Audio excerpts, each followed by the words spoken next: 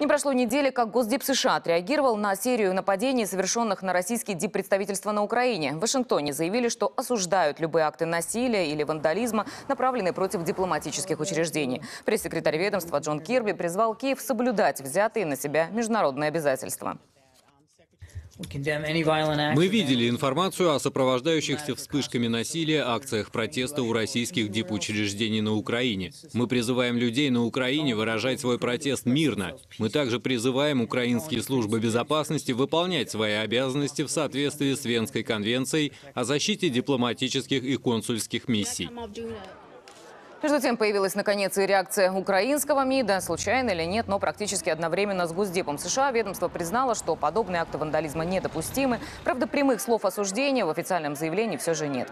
Напомню, нападения на диппредставительство России начались в ночь на 6 марта. Сначала неизвестные повредили битыми посольские машины в Киеве. Позднее здание миссии забросали яйцами, камнями. На первом этаже разбили стекла. Кроме того, на территорию кидали бутылки с коктейлями Молотова.